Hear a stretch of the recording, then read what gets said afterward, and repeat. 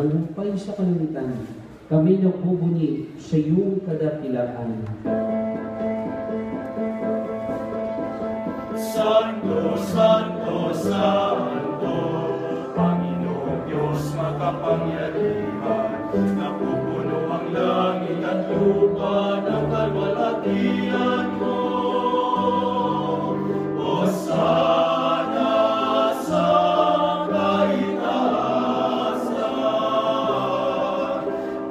pinagpalang na paririto sa ngalan ng Panginoon.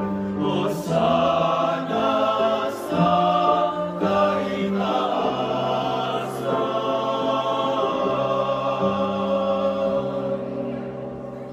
Ama namin banal, ikaw ang bukal ng kanang kabanalan. Kaya't sa pamamagitan ng iyong Espiritu, gawin mong banal ng mga kaloob nito upang para sa amin at dugo ng aming Panginoong Yeso Kristo.